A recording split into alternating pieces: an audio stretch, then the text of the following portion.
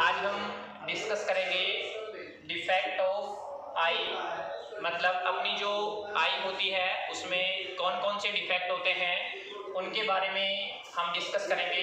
तो पिछली क्लास में हमने आई की स्ट्रक्चर के बारे में स्टडी किया था और उसको हमने कंप्लीट कर लिया था।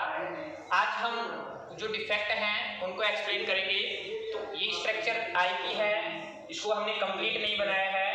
बिकॉज़ कंप्लीट हमने कल बना लिया था। अब हमारा जो फोकस है, वो जो आई लेंस होता है, जो कि एक तरीके से चमत्कारी लेंस है बिकॉज़ वो अपनी फोकल लेंथ को एडजस्ट कर लेता है और ऑब्जेक्ट कहीं पर भी रखे आई के सामने, उसकी इमेज हमेशा वो रेटिना पर बनाने की कोशिश करता है।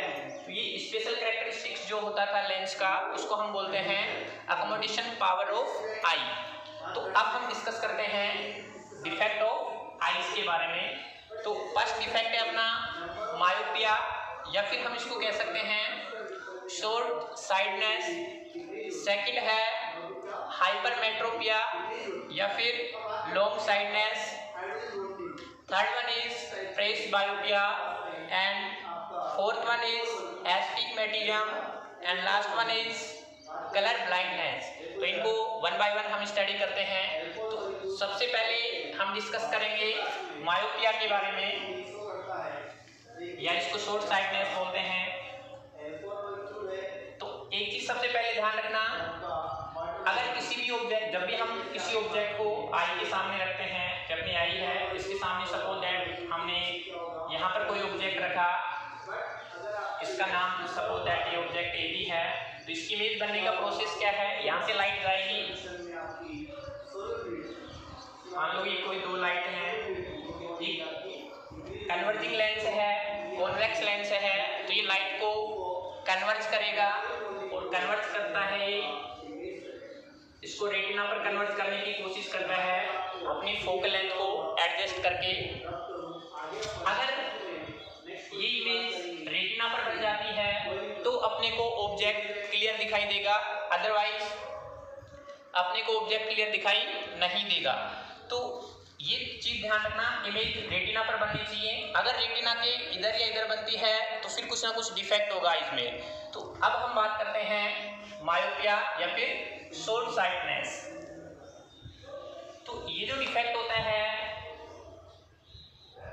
जिसको भी ये डिफेक्ट हो जाता है, उसको पास का जो ऑब्जेक्ट है, वो तो क्लियर दिखाई देता है बट दूर का जो ऑब्जेक्ट है वो क्लियर दिखाई नहीं देता है।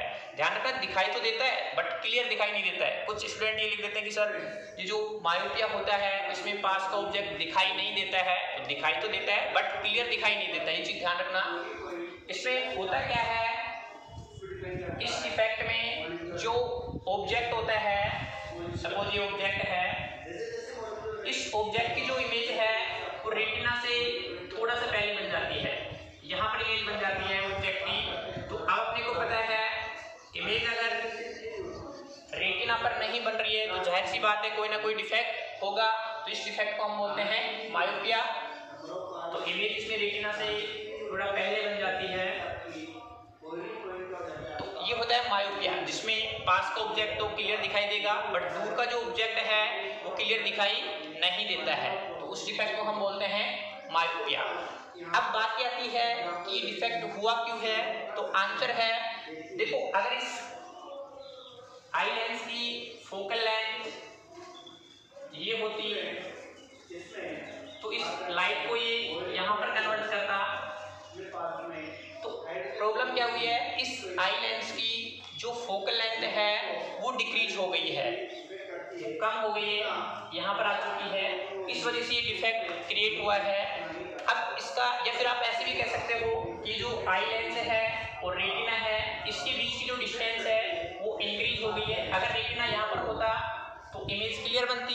बट रेटिना यहाँ पर है तो हम कह सकते हैं कि ये जो डिफेक्ट है, इसका जो रीजन है, वो ये है। इस आई लेंस की फोकल लेंथ कम हो चुकी है, या फिर हम अदर वर्ड में ये भी कह सकते हैं आई लेंस और रेटिना के बीच की जो डिस्टेंस है, वो इंक्रीज हो गई है। ओके अब हम बात करते हैं, ये तो इसका रीजन हो गया। अब हम बात करेंगे इसके सॉल्यूशन की इसका सॉल्यूशन क्या है? तो सॉल्यूशन के लिए हम डॉक्टर के पास जाते हैं। तो डॉक्टर क्या करता है? हमारी अब देखो प्रॉब्लम ये है कि इस इमेज को अपने को यहाँ पर बनाना है तो अपने को ये जो डिफेक्ट है, ये क्लियर हो जाएगा। तो डॉक्टर के पास जाते हैं तो डॉक्टर क्या करता है? अपने को लेंस सजेस्ट करता है, अपनी आँख के आगे वो लेंस लगाने के लिए अपने को सजेस्ट करता है। तो यहाँ पर वो अपने को कौन के लेंस सजेस्ट करता है कि भाई कौन के लेंस आप लगाओ तो आपका ये जो डिफेक्ट है, वो क्लियर हो जाएगा। अब होगा कैसे? तो देखो ये कॉन्वेक्स कॉन्केव लेंस है? ये लाइट को डाइवर्ट करता है। डाइवर्ट मतलब उसको फैलाएगा तो ऐसे कर देगा। अब ये कॉन्वेक्स लेंस है, ये लाइट को कन्वर्ट करेगा। तो ये लाइट को ऐसे कन्वर्ट कर देगा। और इमेज रेटिना पर बन जाती है। तो अब अपने को ऑब्जेक्ट क्लियर दिखाई देगा। तो ये हो गया इसका सॉल्यूशन मायोपिया का क्लियर है?